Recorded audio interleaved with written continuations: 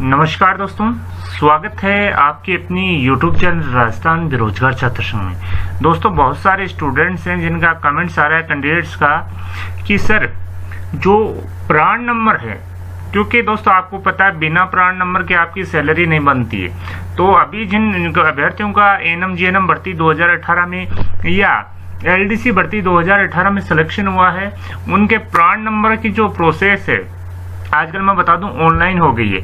मैं इस वीडियो में भी आपको दिखा दूँगा कि यहाँ पर एक आदेश निकाला गया है, जिसके माध्यम से ये जो प्रोसेस है, वो ऑनलाइन कर दी गई है। तो दोस्तों, जैसा कि मैं आपको बता रहा हूँ अभी कि ऑनलाइन यहाँ पर जो प्रोसेस है, उसकी यहाँ पर क्या गाइडलाइन जारी की गई है तो आइए देख लेते हैं। जैसा कि दोस्तों आप देख सकते हैं, राजस्थान सरकार द्वारा जो है 26 जून 2020 के माध्यम से एक समस्त विभागाध्यक्ष को एक परिपत्र जारी किया है, जिसमें राष्ट्रीय पेंशन प्रणाली में ऑनलाइन प्राण जनरेट करने के संबंध में इनको लिखा गया है। यहाँ पर स्पष्ट शब्दों में कहा गया है कि राज्य सरकार के राष्ट्रीय पेंशन प्रणाली के अंशदाताओं को प्राण नंबर जो परमानेंट रिटायरमेंट अकाउंट नंबर है, वो जारी किए जाने के संबंध में एक परिपत्र जारी किया गया था। तेरह तेरह अप्रैल 2011 के अनुसार जो सब्सक्राइबर हैं, उनको हार्ड कॉपी में प्रपत्र भरकर आहरण वितरण अधिकारी यानी को, डीडीओ को जमा करवाना होता था, जिला कार्यालय को भेजा जाता था। बीमा विभाग द्वारा प्राप्त प्रपत्रों की आवश्यक जाँच पश्चात उक्त format central record keeping agency, CRA NSDL को प्रेषित किए जाते थे। सीआरए के द्वारा उक्त प्रपत्र प्राप्त होने पर प्राण नंबर जारी किए जाते थे। उक्त प्रक्रिया के तहत आज दिनांक तक एनपीएस अंशदाताओं को प्राण नंबर जारी किए जा रहे हैं। अब मैं बता दूँ, डिजिटल इंडिया इनिशिएशन को ध्यान में रखते हुए राष्ट्रीय पेंशन प्रणाली जो एनपीएस है, उसमें सब्सक्राइबर को सीआरए द्वारा ऑनलाइन प्राण नंबर जनरेट किए जा रहे इस हेतु सीआरए द्वारा ओपी जीएम यानी कि ऑनलाइन प्राण जनरेट जनरेशन मॉड्यूल विकसित किया गया है। उक्त प्रक्रिया अब राजस्थान में भी प्रारंभ की जा रही है। जिसके तहत एनपीएस के सब्सक्राइबर हैं जो अंशदाता हैं। तो ऑनलाइन प्राण की जो है, वो नवीन प्रोसेस इस प्रकार से रहेगी। एनपीएस आपको सबसे पहले विज़िट करना है www.npscra.nsdl.in से। Common subscriber registration form download करना है और इसकी पूर्ति करनी है और आपको आहरण वितरण अधिकारी को प्रस्तुत करना है। मैं बता दूँ इसके साथ में आपको अपने पता जो है पत्ते से संबंधित दस्तावेज़ डीओबी से संबंधित दस्तावेज़, पैन कार्ड, आधार कार्ड और एक अपनी जो बैंक डिटेल है, उनसे संबंधित आपको डिटेल फिलअप करनी है। अब मैं बता दूँ, जो डीडीओ है, वो अपने जो नवनियुक्त कर्मचारी हैं, के सीआरए स्वयं के लॉगिन से www.cransdl.co.in पर लॉगिन कर सब्सक्राइबर रजिस्ट्रेशन, ऑनलाइन रजिस्ट्रेशन पर क्लिक करेंगे। मैंने आपको पहले भी बताया था दोस्तों कि डीडीओ के माध्यम से ही आपका जो है प्राण ऑनलाइन जनरेट किया जाएगा। आप स्वयं अपना प्राण यहाँ पर जनरेट नहीं कर सकते। आपको डीडीओ को अपनी जो है डिटेल भर के फॉर्म में जमा करवानी है। DDO subscriber registration, DDO login के माध्यम से सब्सक्राइबर रजिस्ट्रेशन, ऑनलाइन रजिस्ट्रेशन को क्लिक करेंगे।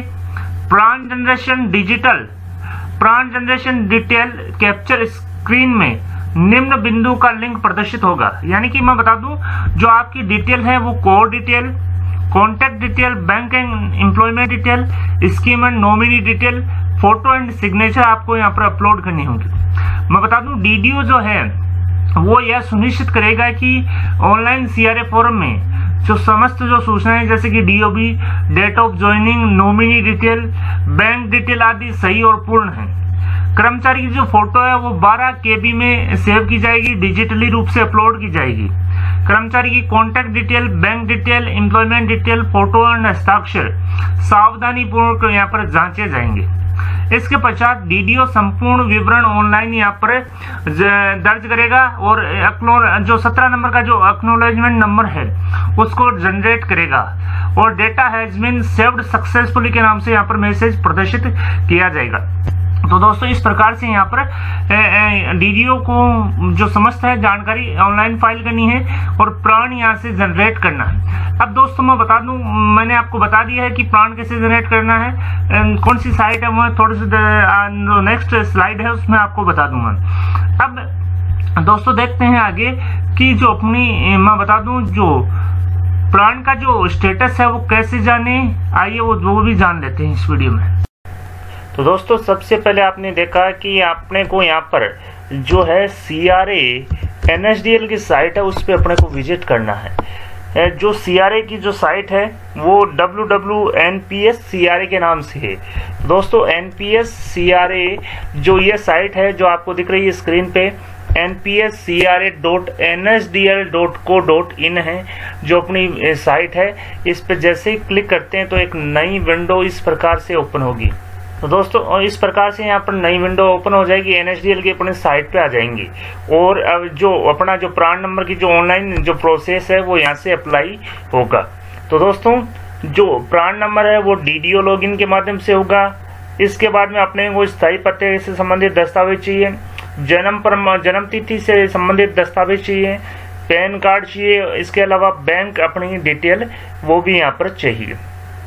तो मैं बता दूँ यहाँ पर जो लॉगिन का जो ऑप्शन है, इसमें नोडल ऑफ़िस के नाम से ऑप्शन है। आप इस पे जैसे ही जाएँगे या आप देख सकते हैं यहाँ पर इस पे अपने को लॉगिन नोडल ऑफ़िस पे क्लिक करना है। और नोडल ऑफ़िस के माध्यम से ही यहाँ पर दोस्तों, मैं बता दूँ, प्राण नंबर का जो फॉर्मेट है, वो ऑनलाइन यहाँ पर अप्लाई होगा। तो दोस्तों, इस प्रकार से यहाँ पर जो अपनी यूज़र आईडी है जो यूज़र आईडी वो एस नंबर होता है, इसके अलावा पासवर्ड और कैप्चा अपने को एंटर करके यहाँ पर लॉगिन करना होता है। इसके बाद में यहाँ पर जो है, प्राण नंबर का ऑप्शन आता है, प्राण जनरेट का, उस पर क्लिक करना है और अपनी जो महत्वपूर्ण डिटेल्स है, इसमें फिलअप करनी है, जिसमें अपनी core detail contact detail bank and employment detail scheme and nominee detail photo and signature आदि यहाँ पर अपने को अपलोड करने होते हैं। और दोस्तों, अपने जो लगभग दो से तीन दिन बाद में अपने जो प्राण नंबर है, वो यहाँ पर जनरेट हो जाते हैं। जी हाँ दोस्तों, आपके जो प्राण नंबर है, वो जनरेट हो जाते हैं। अब दोस्तों, बात ये आती है कि सर प्राण नंबर तो हमने जनरेट करवा लिया क्योंकि ये डीडीओ लॉगिन के माध्यम से ही होता है, मैं बता दूँ आपको। अब अपना स्टेटस देखना चाहते हैं कि प्राण जो कार्ड है, उस वो अपना डिस्पेच हुआ या नहीं हुआ, या क्या इसकी स्थिति है तो लास्ट लास्ट ऑप्शन है प्राण कार्ड डिस्पैच स्टेटस इस पे क्लिक करते हैं। तो दोस्तों, एक नई विंडो यहाँ पर इस प्रकार से ओपन होगी, जिसमें अपन यहाँ पर न्यू रजिस्टर्ड प्राण पे क्लिक करते हैं और एक ऑप्शन है प्राण का, एक है पीपीएन का। प्राण नंबर में अपने पास अपने को प्राण नंबर ध्यान नहीं है, क्योंकि अभी जनरेट नहीं हुआ।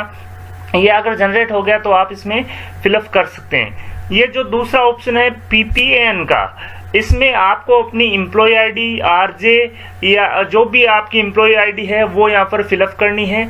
इसके बाद में यहाँ पर कैप्चा कोड डालना और सबमिट करना है। तो दोस्तों, जैसे ही आप इस पे सबमिट पर क्लिक करेंगे तो यहाँ पर आपकी जो इम्प्लॉयमेंट आईडी है इम्प्लॉय आईडी है, जिसमें आरजे जो आपसे आरजे से स्टार्ट होती है उससे वो दिखाएगा। इसके अलावा आपके प्राण नंबर भी यहाँ पर शो करेगा। जी हाँ दोस्तों एम्प्लॉय आईडी शो करेगा, प्राण नंबर शो करेगा, उसका स्टेटस शो करेगा कि जो रिक्वेस्ट है फॉर्म वो सबमिट हो गया और रिक्वेस्ट अंडर प्रोसेस है, या प्राण कार्ड का क्या स्टेटस है डिस्पैच हुआ या नहीं हुआ। तो दोस्तों, इस प्रकार से आप अपना स्टेटस देख सकते हैं और डीडी अगर आप जो प्राण नंबर है वो डीडीओ लॉगिन के माध्यम से ही आप अप्लाई कर सकते हैं। डीडीओ लॉगिन में आपको मैंने बताया कि जो लॉगिन है, उसमें जो यूज़र आईडी है, वो एसवीजी नंबर आएगा। पासवर्ड डालना है आपको बाद में कैप्चा कोड यहाँ पर डालना है। जैसे ही आप कैप्चा कोड डाल दोगे, यहाँ पर सबमिट पे क्लिक करोगे तो यहाँ पर सबमिट हो जाएगा और आप आसानी से प्राण कार्ड ऑनलाइन अप्लाई कर सकते हो। इसके अलावा प्राण कार्ड का जो डिस्पैच स्टेटस है, वो भी मैंने आपको बता दिया कि प्राण कार्ड डिस्पैच स्टेटस पे क्लिक करना है। और यहाँ पर जो नई विंडो है, उसमें न्यू रजिस्टर्ड प्राण पे करना है क्लिक यहाँ पे इसके बाद में जो अपना पीपीएन नंबर है पीपीएन नंबर इंप्लॉयमेंट आईडी होती है तो वो डालना है। इसके बाद में कैप्चा कोड डाल के सबमिट पे क्लिक करना है। जैसे ही आप सबमिट पे क्लिक करोगे तो मैं बता दूँ एम्प्लॉय आईडी प्राण नंबर और उसका डिस्पैच स्टेटस क्या है, वो यहाँ पर आपको नीचे यहाँ पर शो कर देगा। दोस्तों, वीडियो पसंद आए तो अपने दोस्तों के साथ लाइक और शेयर करना न भूले। आपके अपने यूट्यूब चैनल राजस्थान बेरोजगार छात्र संघ को सब्सक्राइब या सब्सक्राइब करें। धन्यवाद, दोस्तों।